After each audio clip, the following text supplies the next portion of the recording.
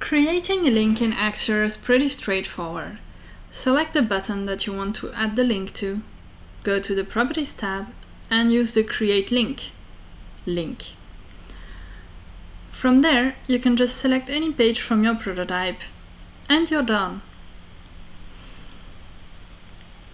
If you want to trigger a link on click and you want more options, double click on click, go to the links section and then you have several options like open link in a current window, in a new window, in a pop-up window or in a parent window. You can also have it close a window, open a link in a frame.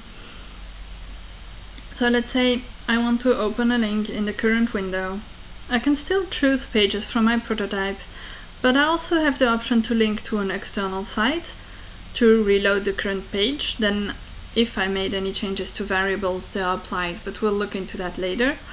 Or you can go back to the previous page and actually have a back button. But then if you're using any variables, they will not be taken in account. Again, that's something for later.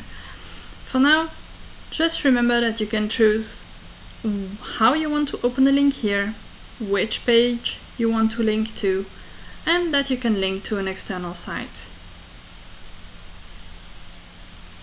That's it for this tutorial. Thanks for watching.